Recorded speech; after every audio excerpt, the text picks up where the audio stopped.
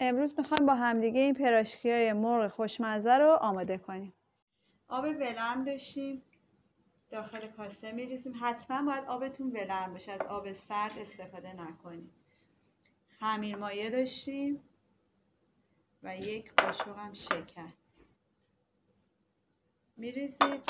وقتی با هم مخلوطشون کردید یه جای گرم میزه و روش هم میپوشونید. حدود 20 دقیقه تا نیم ساعت که خمیر مایتون فعال بشه. حدود 20 دقیقه تا نیم ساعت گذشته می‌بینید که خمیر مایه ما به چه شکلی در اومده پف کرده. و حالا ما روغن و و نمک رو بهش اضافه می‌کنیم. هم می‌زنیم و آرد و کم کم داخلش میریزیم.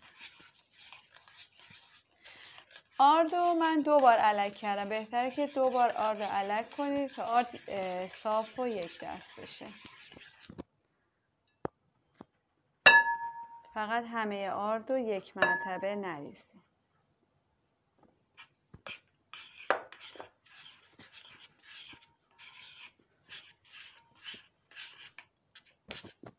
وقتی آردتون کاملا صفر شد.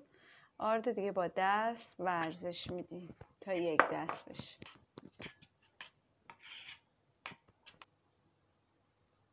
بقیه آردم من اضافه کردم و حالا دیگه کم کم باید با دست ورزش بدیم. آرد با دست ورز می‌دید تا حدی که دیگه به دستتون نچسبه. خمیر ما آماده شده. ما یک شونش می‌کنیم و دو سه بار اینو ته ظرف میکوبیمش تا کاملا ورز داده بشه و روشو می‌ذاریم به مدت یک ساعت تا این دوباره پف کنه.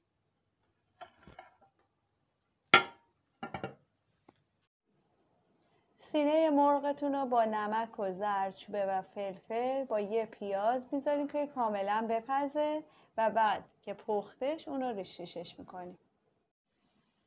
پیازمون رو داخل مایتابه میریزیم. یه مقدار که آبش گرفته شد و پیاز سبک شد بهش روغن رو اضافه می‌کنیم.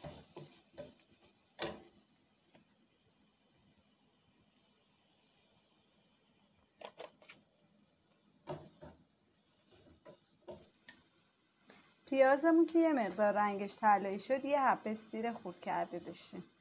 اونم بهش اضافه می‌کنیم و هم می‌زنیم. عطر سیرتون که در اومد یه دونه فلفل دلمه خورد شده داشتیم اونم اضافه می‌کنیم. و قارچ نگینی شده اونم اضافه می‌کنیم.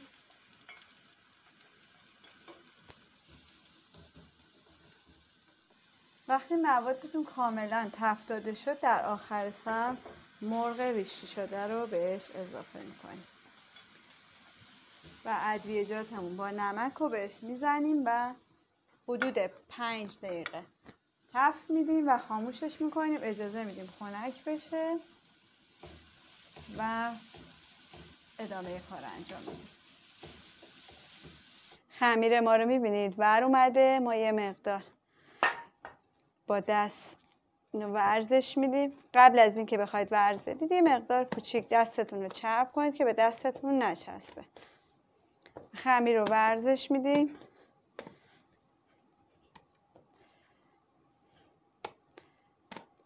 یه مقدار آرد.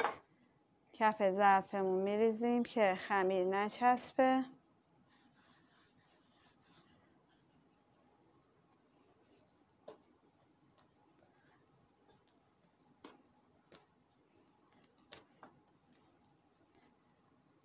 حالا اندازه پراشکی مرغتون به خودتون بستگی داره کوچیک و بزرگ بودنش. ولی من امشب از گردو یه مقدار بزرگتر خمیرامو برمیدارم و چونه می‌کنم. خمیراتون رو با دست باز کنید قشنگ. حدود نیم میلیمتر بشه کافیه.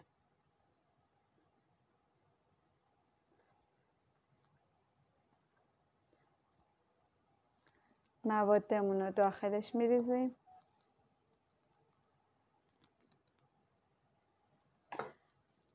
و پنیر پیتزا.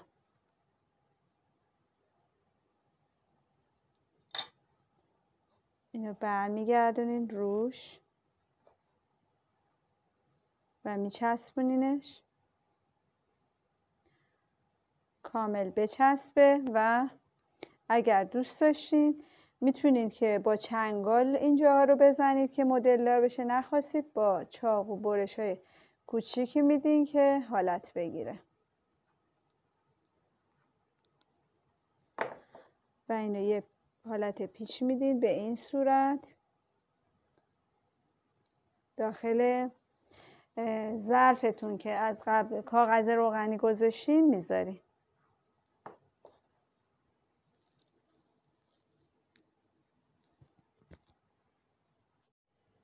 یه مقدار زردی تخم مرغ روشو می‌زنیم به مدت نیم ساعت داخل فر می‌ذاریم.